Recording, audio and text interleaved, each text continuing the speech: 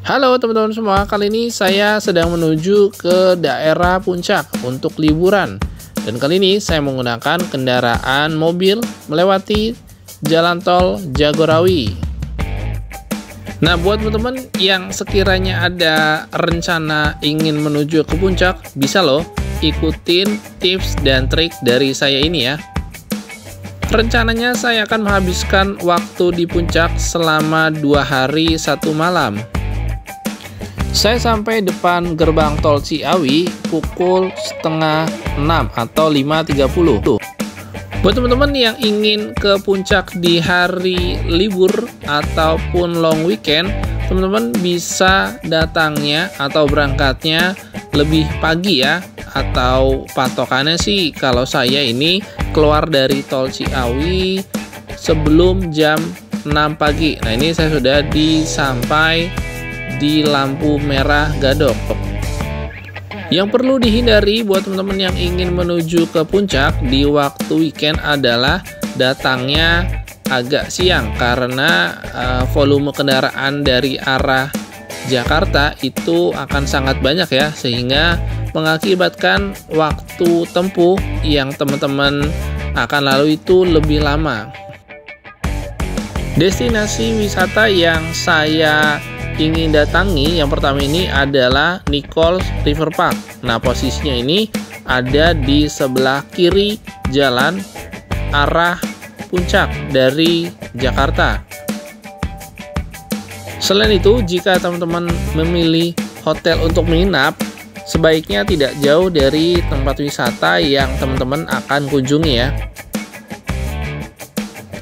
agar nantinya teman-teman keluar dari tempat wisata dan menuju ke hotelnya ini tidak terlalu jauh ya.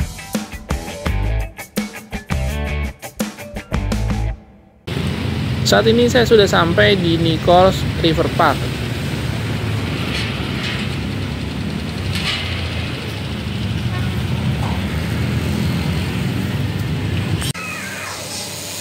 Nicole River Park ini cocok sekali ya untuk uh, teman-teman menghabiskan waktu bersama keluarga. Dan untuk video selengkapnya sudah tayang ya. Nanti linknya saya taruh di kolom deskripsi. Saya menghabiskan waktu di Nichols River Park ini kurang lebih 4 jam ya. Dari pukul 8 pagi sampai dengan pukul 12 siang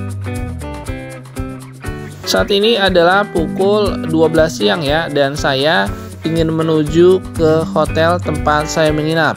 Nah, tempat hotel saya menginap adalah Cikopo Hotel.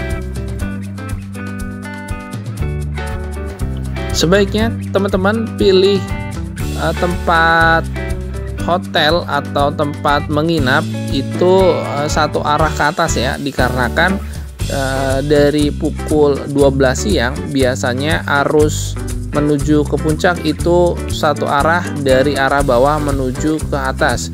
Jadinya kita tidak terlalu uh, berpengaruh ya. Tadi kita sampai di hotelnya itu pukul 1 dan untuk uh, check-innya di hotel Cikopo ini saya pukul 2 siang ya di hotel ini teman-teman bisa menghabiskan waktu dari siang hingga malam. Nah, kalau teman-teman uh, sekiranya ingin keluar mencari makan di malam hari pun bisa. Nah, saran saya dari hotel ini teman-teman bisa menuju ke arah atas atau ke arah Ciloto. Nah, di situ uh, nanti teman-teman bisa uh, makan sate marangi setelah itu kami check out dari hotel ini pukul 12 siang ya dan harus menunggu sampai pukul 1 siang untuk uh, arah ke bawah atau ke arah Jakarta karena pukul 1 siang itu biasanya jalur dari puncak menuju ke arah Jakarta dibuka. Nah, ini teman-teman, saya menuju ke arah Jakarta ini di pukul setengah dua ya nah teman-teman bisa lihat sendiri itu mobil semuanya mengarah ke bawah atau satu arah Nah, kita spill budget dulu ya teman-teman ya. Jadi pengeluaran saya selama uh, di puncak ini yaitu untuk biaya tol adalah 7.500 untuk sekali jalan. Artinya ketika pulang pergi saya menghabiskan 15.000 untuk biaya tol. Nah, untuk uh, bensin konsumsinya kurang lebih 100.000. Ini sudah pulang pergi ya. Untuk wisata pertama yang saya kunjungi tadi adalah Nichols River di mana tiket masuknya adalah 40.000 untuk tiga orang. Jadi saya menghabiskan kurang lebih 120.000 ya. Sedangkan untuk menginap di hotelnya, saya menginap di Citra Cikopo Hotel and Family ini harganya atau e, bandrolnya kurang lebih 750.000 ya untuk satu malam. Sebelum saya melanjutkan uh, ke spill harganya, uh, untuk saran aja ya, jika teman-teman ingin uh, tambah satu destinasi wisata lagi, baiknya teman-teman uh, mencari destinasi wisata yang satu arah menuju teman-teman arah pulang ya. Dan kali ini saya memutuskan untuk ke Mini Mania Puncak yang ada di Bogor. Dan kebetulan posisinya ini ada di sebelah kiri atau satu arah dari hotel saya menuju ke arah pulang. Untuk masuk ke mini mania ini, teman-teman uh, ada pilihan ya. Teman-teman bisa masuk ke mini mania saja seharga 30.000 atau plus ke Sakura Park harganya 30.000. Dan kebetulan saya pilih yang tiket combo ya, kedua-duanya seharga 60.000 jadinya untuk tiga tiket ini saya habiskan Rp180.000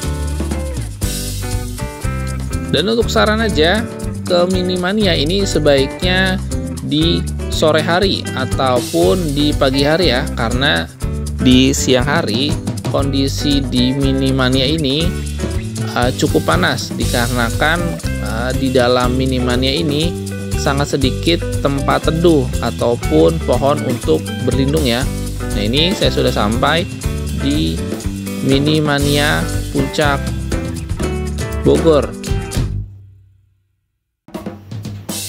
Untuk video lengkapnya teman-teman bisa langsung lihat di video saya sebelumnya ya. Minimania ini bukannya sampai pukul setengah 6 sore ya. Jadinya teman-teman bisa menghabiskan sore harinya di mini mania ini. Oke teman-teman, uh, ini adalah rincian biaya yang saya habiskan ketika berlibur di puncak selama dua hari satu malam. Nah mungkin jika eh, teman-teman uh, lebih menghemat, teman-teman bisa pilih destinasi wisata yang sesuai budget ya. Oke, sekian dulu dari saya. Buat teman-teman yang sudah menonton sampai habis, saya ucapkan terima kasih. Jika ada pertanyaan ataupun komentar, silahkan ketik di kolom komentar. Sekian dari saya. Terima kasih. Wassalamualaikum warahmatullahi wabarakatuh. Dadah.